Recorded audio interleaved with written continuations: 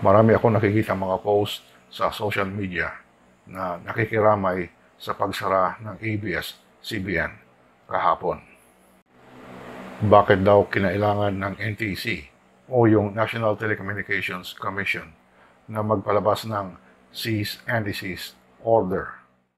Mukhang nabubulag pa rin ang marami sa propaganda ng ABS-CBN na itong mga nangyayari ay isang assault on press freedom o isang pagsisikap ng gobyerno na matakpan ang bunganga o bibig ng mga media men katulad ng mga anchor at reporter ng ABS-CBN.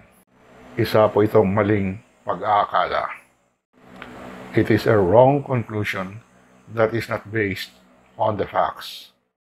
First, the closure was in accordance with law. Expired na po ang franchise noong May 4 pa, 2020. Maliwanag na under the law, no franchise, no permit. At kung walang permit, no broadcast operations. Ganon lang po, kasimple yun. Eh bakit daw nangako si Deputy Commissioner Edgardo Cabarrios ng NTC noong ginawang uh, hearing ng House of Representatives na magbibigay ang NTC ng provisional authority to operate. Wala pong kahulugan yun. Sinabi niya yun on the basis of the legal opinion given by Justice Secretary Menardo Guevara na pwede daw magbigay ng provisional authority to operate kahit na isang joint resolution lang ang pababasihan. Subalit, ang isang legal opinion po ay hindi po yan sapat. It is a weak legal basis at madali pong wasakin sa isang kaso sa korte. Kaya kung may commitment man si Deputy Commissioner Cabarios, hindi po yan binding sa NTC. Hindi po siya pwedeng mangako ng isang bagay na illegal. Idagdag ko lang dyan na ang NTC po ay may tatlong commissioner. Isa lang po si Deputy Commissioner sa tatlo. At kailangan po, kung ano man ang desisyon ng NTC, kailangan po majority of the three, at least two of the commissioners will vote on a certain issue. Second, ABS-CBN is hardly the paragon of press freedom. Hindi po ito huwaran ng karapatan ng malayang pagpahayag.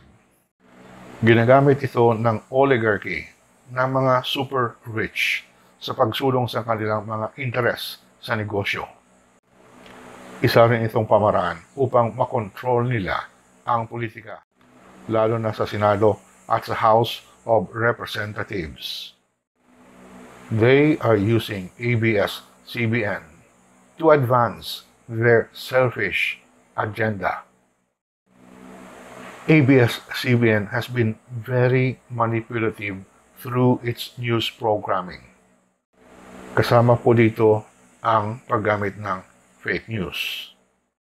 Matandaan pa po natin na in 2016, talagang ginamit ng ABS-CBN ang kapangyarihan nito upang itaguyod ang kandidatura ni dating DILG Secretary Mar Rojas.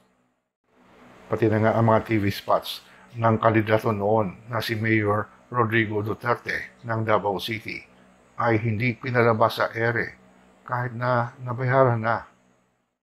And from a personal perspective, I object to the labeling of the closure of ABS-CBN as an assault to press freedom. In fact, tinulungan pa nito si Senate Minority Leader Franklin Drilon upang maitago ang mga anomalya nito sa mga proyekto sa Iloilo, lalo na po yung sa Iloilo Convention Center. Hindi po nag-report ang ABS-CBN tungkol sa mga expose ko kahit na kumpleto ako sa ebidensya.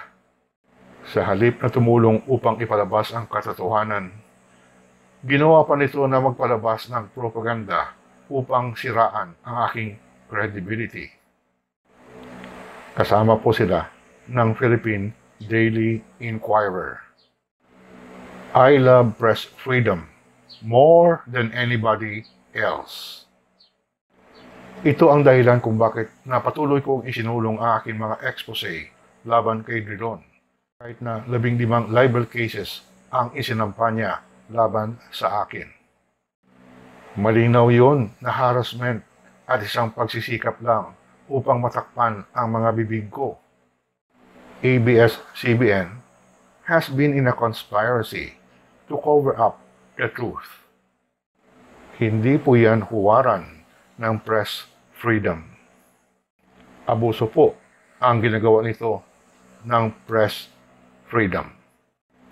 So sana po makakatulong ito sa ating mga kababayan na maunawaan ang katotohanan tungkol sa ABS-CBN.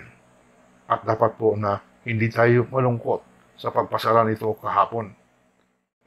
Dapat ka tayo mag-celebrate dahil nahinto na po itong programa ng fake news at paglilinlang sa taong bayan. ABS-CBN has never been in the service of the people. Always and always it has been in the service of its oligarch owners.